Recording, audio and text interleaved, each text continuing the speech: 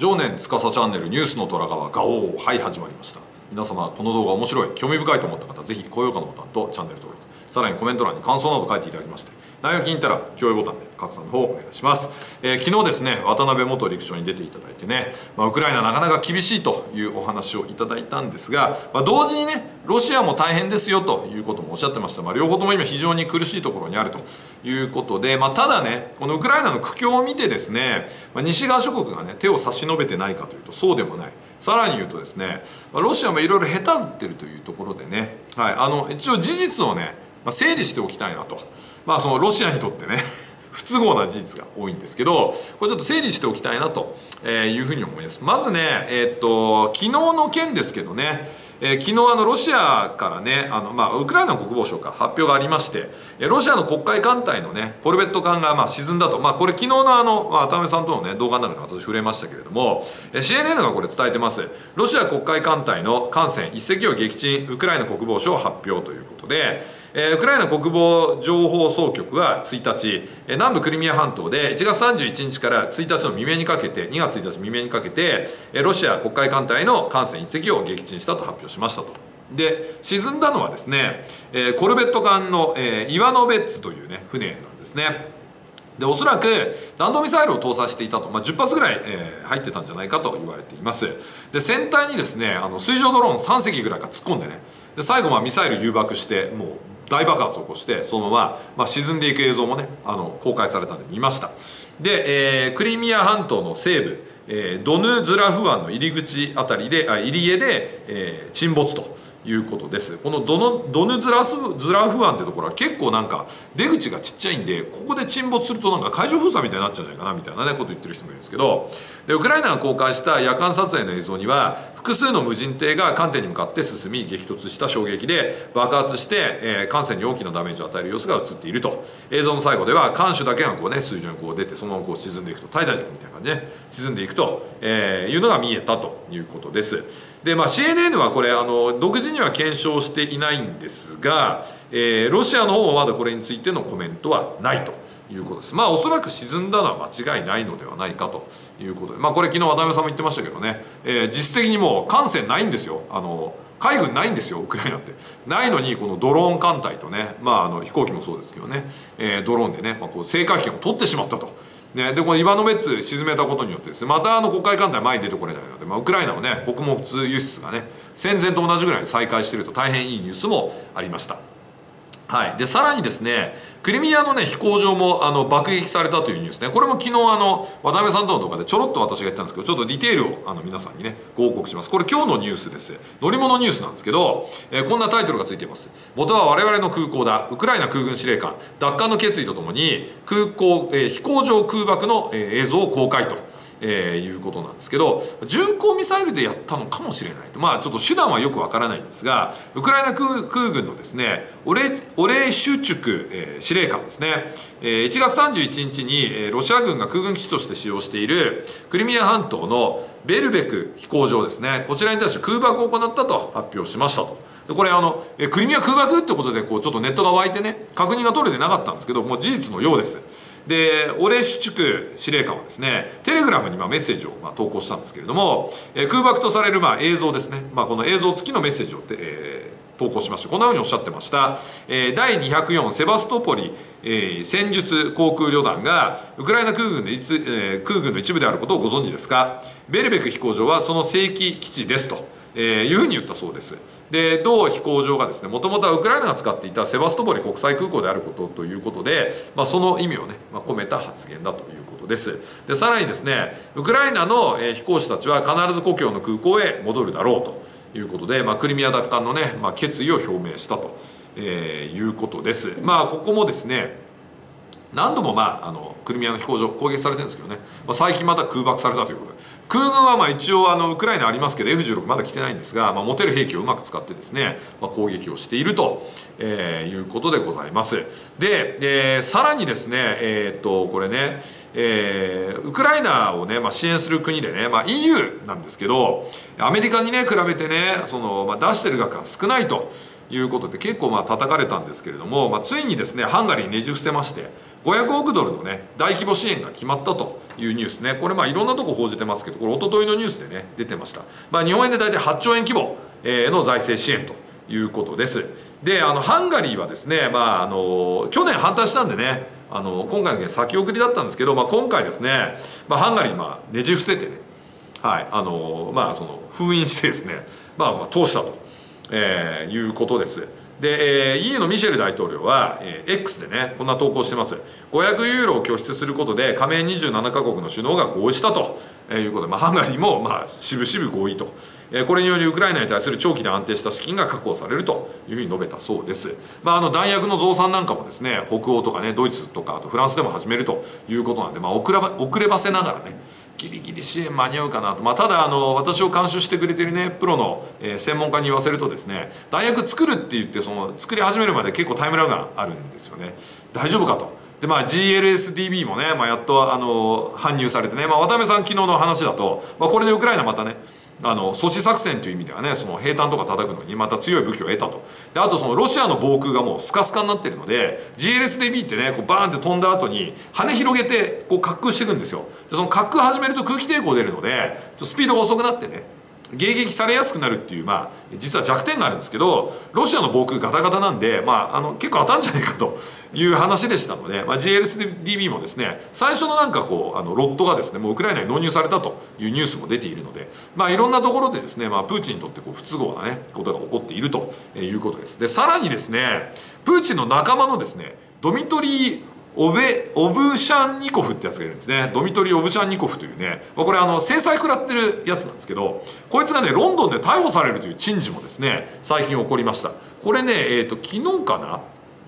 えっ、ー、とね新聞記事はですね昨日ですね昨日のあの、えー、イギリスのですね、まあ、新聞に出た記事です。ザ・スタンダードというところが報じてるんですけれども、えー、プーチンの盟友ドミトリー・オブシャンニ,、えー、ニコフが、えーえー、制裁違反でロンドンで逮捕されると。いうことです。で、あの、ロンドンでですね、この制裁違反の人物がね、今回の件で逮捕されるのは初めてと。えー、いうことでした、はい、最初の人物だと言ってますで、えーと、クリミアのですねセバストポリのね、まあ、占領下の違法なはい、違法なロシア側主張ですね。をやっていたこのオブシャンニコフがですね、えー、先週、えー、制裁違反の疑いで、えー、国家犯罪捜査局に、えー、自宅で逮捕されたということです。で、えー、7回の制裁回避罪と2回のマネーロンダリングの罪で告訴されあ起訴され、えー、2月20日にですねえー、サザーサザーク・クラウン裁判所で、えーまあ、最初の、えーまあ、弁論が行われると。いうことです。でこのオブシャンニコフね実は EU からも制裁食らってたんですよ。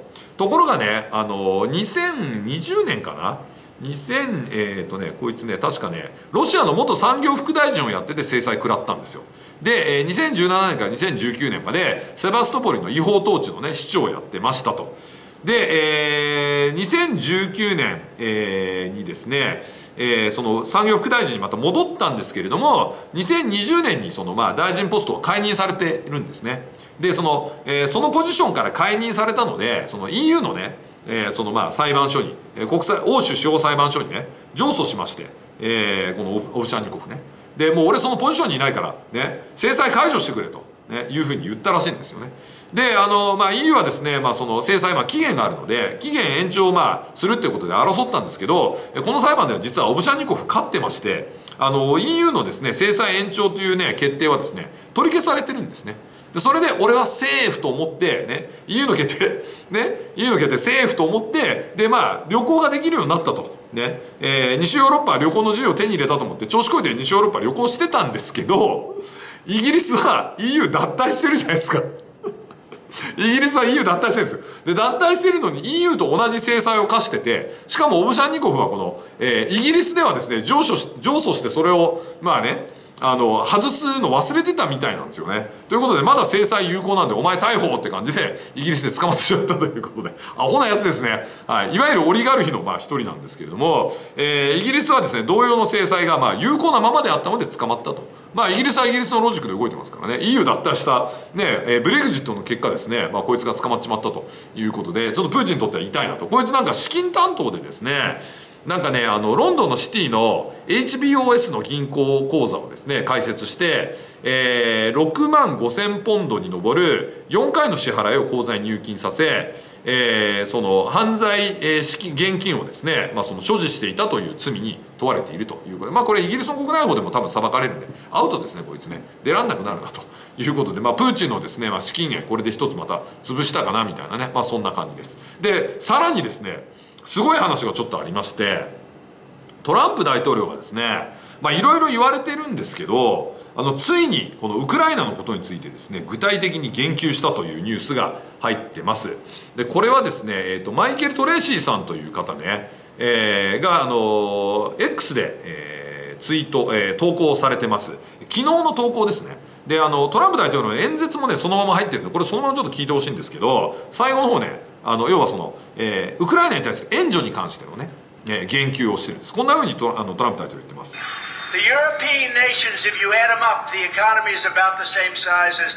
ヨーロッパ諸国はアメリカと同じ経済規模があるんだと。みんな知らんかもしれないけど。なのに我々は2000億ドル拠出してるのにあいつらは200億ドルしか出してねえと。私は払いますよ。払うけどイコールだと、ね、払うけど同じ金額を払うんだっていう言い方をしてるんですよ、ね私があの要はそのトランプさん曰くね私がもうあのウクライナ見捨てて金払わないと思ってる人いるかもしれないけど違いますよと。ね。アメリカと同じサイズのね経済規模あると言われてる EU が我々の10分の1しか払ってないと。ね。俺たち同じ金額払ってるからね。俺は払うよと。払うけど同じ金額だと。ね。イコールって最後言ってるでしょ？ここね。最後ね。ここね。And they'll pay too. You have to equalize. Equalize ってね言ってるでしょ